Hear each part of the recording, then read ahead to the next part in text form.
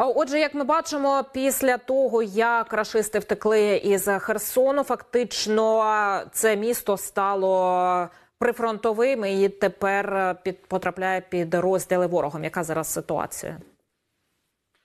Ну, бачите, цього можна було очікувати. Е, Херсон місто перейняло тепер долю Миколаєва. Миколаїв місто одне з е, тих, які обстрілювалися найбільше. Взагалі, оці е, в ці дні, що зараз настали цього тижня, це найдовший період без обстрілів у Миколаєві. А до того воно було як таке сторожове прифронтове місто, і постійно е, на було під ударами е, російської артилерії, навіть а не тільки е, ракет. Ось і зрозуміло було, що зайнявши Херсон, зайнявши нові території, е, ми таким чином зробимо ці території вразливими е, від обстрілів ворога. І бачите, це також показує, як е, діють, е, як яка з армії діє, тому що е, поки Херсон контролювався російськими військами, Україна так нещадно все таки не завдавала ударів по його навіть околицях. Як зараз все таки це відбувається по околицях Херсона. Ось ну я думаю, що всі люди, які з Херсона, всі, які мають родичів там, і взагалі всі українці все одно е, розуміють, і що це набагато все таки менша ціна і менше небезпек, ніж бути просто в окупації, постійно наражатися на репресії, на фільтраційні заходи, перевірки телефонів, е, контроль на пропускних пунктах і так далі. А так, а загалом, от е, як зустрічають е, на деокупованих територіях місцеве населення збройні сили України? Ми бачили так безліч просто відео, дуже і дуже таких е, сентиментальних, вразливих. Так, от як реагують, що каже місцеве населення у деокупованих зараз пунктах населених? Е, ну, конкретно я з хлопцями цей тиждень. Е, ми поза нас поза населеними пунктами, які ви називаєте, але загалом перед тим, де ми бували, і те, що чуємо від інших, і бачимо по телебаченню, то зрозуміло, що е, приймають радісно, люди плачуть. І єдине, що почали все таки люди приїжджати навідувати свої обійстя, хто там навіть залишив. Поки що, мабуть, це трохи зарано, тому що вже тисячі е, мін. Е, Я не знаю, якщо говорити по населених пунктах і загалом про територію звільненої Херсонщини і Миколаївщини, але загалом вже тисячі мін знешкодили наші інженери, сапери, і ця робота ще дуже активна, триватиме довго. Ну хто може, хай принаймні перші дні не приїжджає, перші тижні, тому що люди наражаються, наражаються на небезпеку і наражають тих, е, з ким вони приїхали. А так було вже попередження від військових про те, що дуже і дуже багато і щільно минують територію, з якої тікають окупанти, і дуже небезпечно повертатися раніше ніж це було дозволено від місцевої влади, бо сапери мають перевірити будинки, і житлові буд- і все на світі може бути заміноване. А так, якщо говорити про також інші зараз населені пункти на Херсонщині, дуже багато теж було повідомлень, зокрема із Олешок. Окупанти Альошки називають по все ще це місто, так і не вивчили його назву. Яка там зараз ситуація? Чи є звідти якусь якісь новини? Е, От цікаво, до речі, бачити деяких людей, е, які зараз, хоч і не там, але мають своїх е, ну, людей, спілкуються з людьми, наприклад, в Каховках і в Олешках теж. І дуже цікаво, що вони говорили про те, що поза населеними пунктами діють групи, групи українських збройних сил, ось якісь розвідувальні групи, очевидно. І якщо це так, то ми, мабуть, почуємо невдовзі або результати, або якусь інформацію від, е, ну, від прес-центру, від збройних сил. Ось, але поки що не знаю, чи можна довіряти таким такій інформації, але ми її дослухаємось до неї, і ми бачили вже не від однієї людини, що по ну там, де лісиста місцевість, принаймні, що там е, діяли відразу після того, як е, рашисти залишили Херсон, відразу після того, прямо в наступний день, і після того, е, що там були помічені нібито е, українськ, групи українських е, військових. Угу.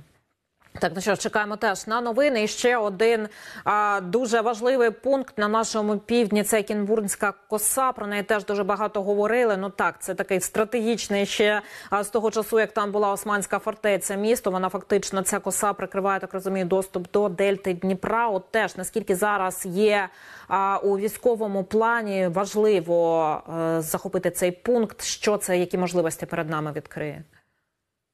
Е, дуже важливе стратегічне розміщення, тому що це як на острові Зміїному. Там можна поставити е, своє озброєння і контролювати доволі широкий радіус. І зараз е, ця територія під ураженням наших збройних сил. Ну і це означає, що контролюється зараз не нашими військами. Наразі треба звідти нам ще вибити рашистів. Угу. Так, тобто вони там укріпилися зараз на цій заповідній території. Я думаю, вони укріпилися не зараз, а в них було достатньо часу для того, щоб там надійно е, е, укрити е, свою техніку військову, своє озброєння і особовий склад. Але я думаю, що все до часу, і вони зараз перебувають під обстрілом. Я думаю, що вони теж деморалізовані з огляду на те, який це ландшафт, і що там тоненький перешийок, як їм відступати.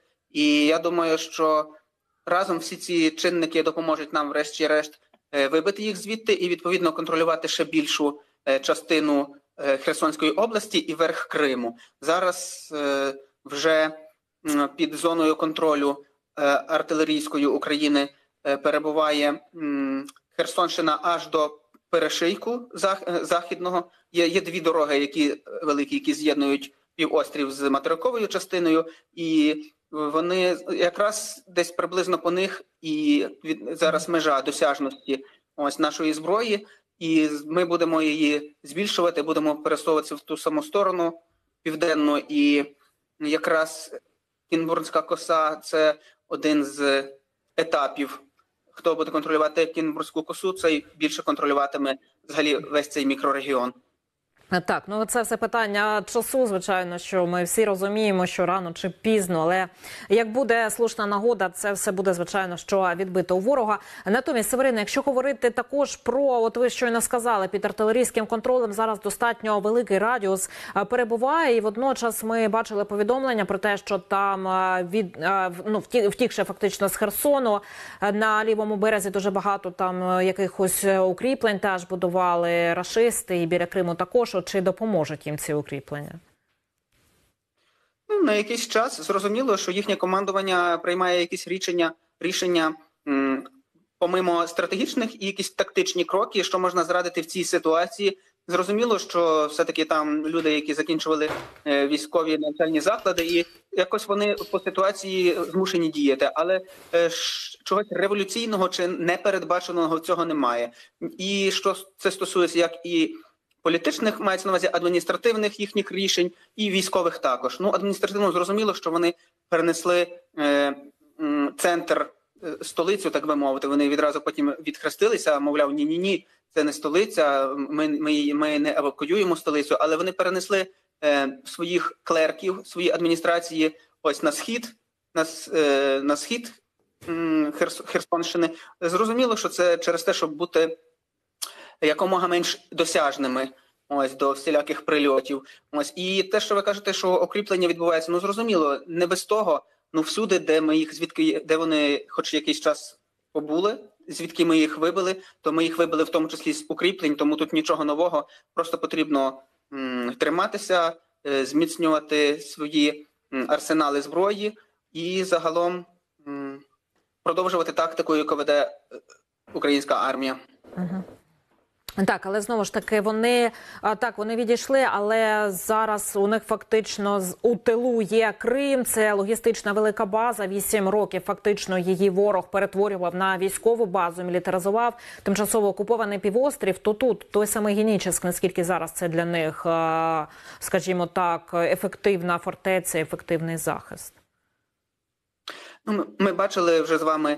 Е, не один місяць тривають час від часу попадання в якісь об'єкти їхні і в будинки навіть по Криму. Тому і Крим, і Генічеськ це вже в зоні нашої досяжності. Тому будемо діяти і будемо сподіватися, що з часом це їх знекровить і ну, буде поступово позбавлювати їхніх арсеналів. Це наша тактика, якої ми мусимо дотримати. Вона планомірна. А з логістикою, чи скажімо так, все у них е, зараз наскільки у них погано? Так поставимо питання, звідки вони можуть зараз? Чи є у них можливість через Крим? Бо так пошкоджений е, Кримський міст вже неодноразово казали про те, що його пропускна спроможність значно впала, і чи з тимчасово окупованих міст на сході України і біля Азовського моря по узбережжю також чи можуть вони зараз поновлювати свої припаси? Е, Частково Кримський міст діє, якщо говорити про залізницю. Все постачання взагалі армійське це головною мірою залізниця. Якщо його перекладати і перераховувати на е, автотраси, то це зразу в рази здорожчує і в рази сповільнює. І це, це недостатній спосіб для того, щоб підтримувати е, війну в тонусі, щоб бойові дії тримати на сталому рівні е, постачання. Автомобільне недостатнє, і саме тому зараз намагаються всіляко утримати е, Донецьку область, північ Донеччини, тому що е, там е, з Росії в на Херсонщину і на північ Криму якраз пролягає залізниця. І якщо ще залізниця буде е, під контролем українських артилеристів, то ну це майже паралізує всю їхню війну, їхнє постачання і продукції, і зброї, і боєкомплекту. Тому, побачивши, що сталося на Кримському мосту, вони розуміють, що це чому ж це не може повторитися. Може повторитися в той чи інший спосіб, і тоді вони зовсім не мають. е, Ну, можуть бути не, не, дивер- не диверсифіковані їхні канали е, подачі е, вантажів. Ось тому вони всіляко мусять триматися за ті гілки залізниці, які йдуть е, над Азовським морем від Криму і туди в сторону Ростова. Угу. Так, ну зрозуміла більш-менш їхня ситуація. Тут ще наступає зима і сезон штормів. і Вже кажуть про те, що паром ходить гірше і ще більше обмежить можливості їхньої логістики. Ну що ж, нам свої робити. Северине, дуже вам дякую за те, що знаходите час до нас долучатися. Повертайте з перемогою. Боєць руху Паровільна Україна з Херсонщини. Дякую. Северин Наливайко з нами був на зв'язку. До нових зустрічей в нашому етері.